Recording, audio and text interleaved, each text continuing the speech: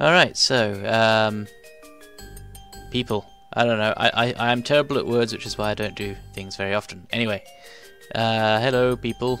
Uh, this is Niet, and I figured I'd show you something that I've done recently just to let you see progress on the development site. The um, It is still currently open to you guys to check out, but uh, in the near future I will be taking it offline just to, you know, because there'll be some new things that, that, there's, that should be a nice surprise, so uh, don't want to spoil too much for you.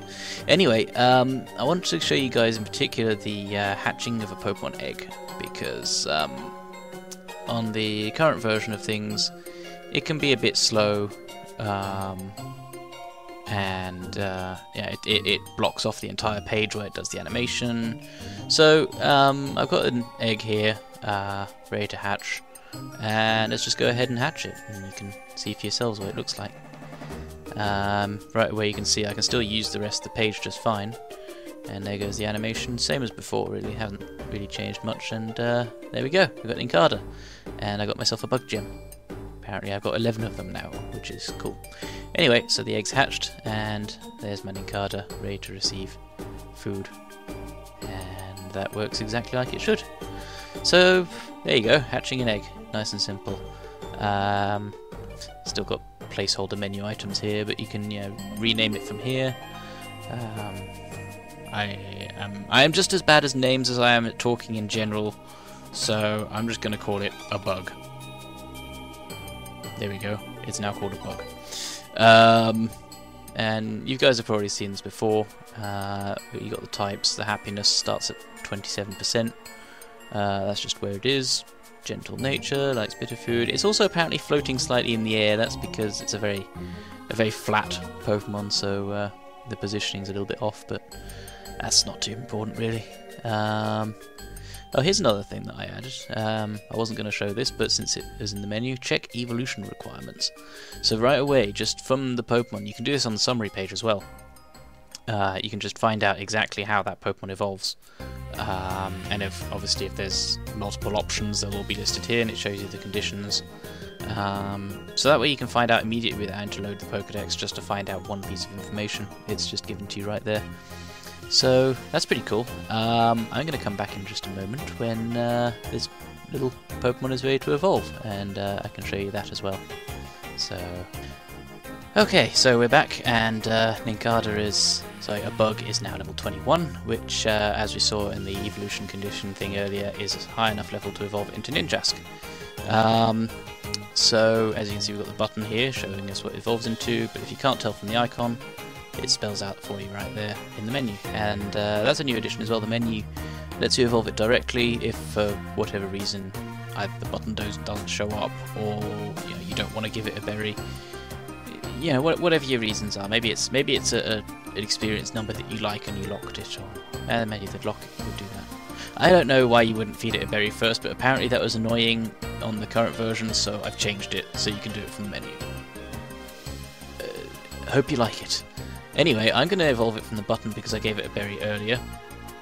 Um, so as before, you have the confirmation box. Um, and yeah, you could since it's got the button focus on the button directly, you can just hit the spacebar or enter key or just sort of anything really. If you, yeah, if again, if you're in a rush, you know, don't want to move the mouse there, just hit the spacebar. But I'm going to click it with the mouse, and uh, here we go. We actually have an animation this time. The current version still says cool animation to be added or whatever, and this one actually has an animation. So there we go. There's our there's our nin, um, Ninjask. Yeah, that was it. I forgot. I was, going to call it Nincada again, but no, it evolved into Ninjask. So that's done. And down here we've got, uh, if you're paying attention, that number's actually increased, which um, is cool because uh, that means I don't have to reload the page just to get up-to-date information. Um, let's say I was at 2,995 and I had a full party, I evolved them all then I'd be able to just directly come straight down here and complete the task without having to um, reload the page or anything like that. So, so that's pretty cool. Um, yeah, everything's just a lot more streamlined in this version, I think, um, and it has the animation that was that was promised. Uh, now you'll notice it still says bug ground, even though it's definitely not a bug ground type anymore. That will be fixed as soon as I click the button. And bug flying, and we also have a Shedinja over here. because that's what happens when you involve an Nincada with Empty Space New Party. Uh, so the Shedinja has obviously the same amount of experience, it has same nature, same oh it's the same preference, same happiness.